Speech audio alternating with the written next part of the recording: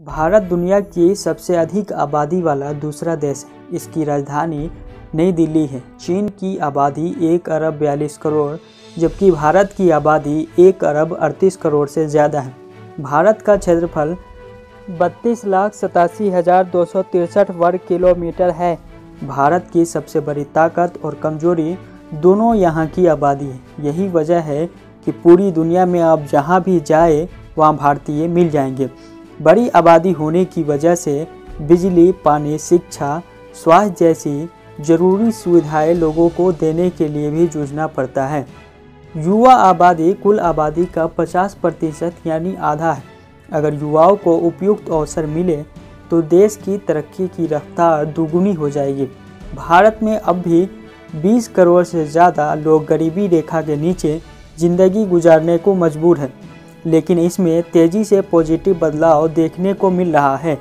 भारत के लोगों की एवरेज आमदनी 2020-21 में लगभग एक लाख तैतालीस हज़ार रुपये सालाना का अनुमान है। भारतीय फ़ौज दुनिया की चौथी बड़ी फ़ौज है। रक्षा बजट के मामले में भारत दुनिया का तीसरा देश। भारत का रक्षा बजट इकहत्तर पॉइंट एक अरब डॉलर, जबकि चीन का रक्षा बजट एक सौ उनासी अरब डॉलर है। भारत दुनिया की छठी एटमी ताकत है।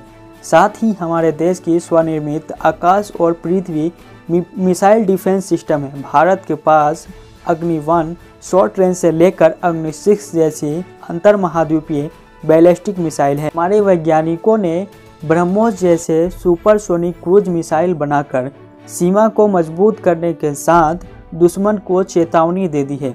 यह एटमिक हथियार ले जाने में भी सक्षम है। इसके अलावा भारत फोर्थ जेनरेशन का तेजस फाइटर जेट्स भी तैयार करता है।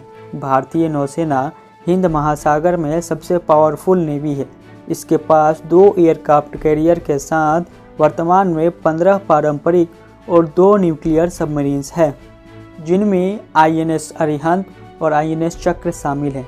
भारतीय वायुसेना राफेल फाइटर जेट्स को भी अपनी बेड़े में शामिल कर चुकी है। भारत की सीमाएँ सात देशों से लगती है, जिनमें चीन और पाकिस्तान से रिश्ते बिल्कुल भी अच्छे नहीं हैं। भारत दुनिया की बड़ी इकोनॉमी ताकत है।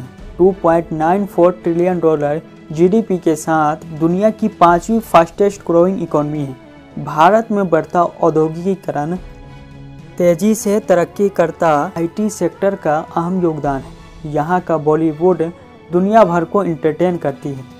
भारत की अड़सठ प्रतिशत आबादी आज भी गाँवों में रहती है।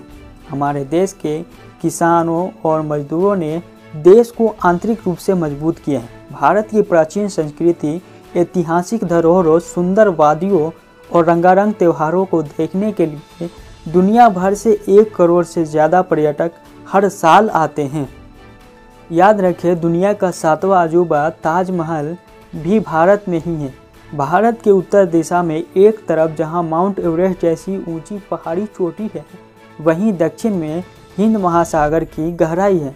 भारतीय अंतरिक्ष अनुसंधान संगठन इसरो ने पहले ही प्रयास में चंद्रयान तथा मंगलयान मिशन को सफलतापूर्वक अंतरिक्ष में पहुँचाने वाला पहला देश बनाया।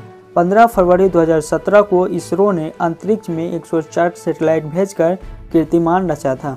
हमारे चैनल से जुड़ने के लिए लाल रंग का सब्सक्राइब बटन दबा दें। साथ में लगी बेल आइकन को भी प्रेस कर दें ताकि नई वीडियो की नोटिफिकेशन आपको सबसे पहले मिले।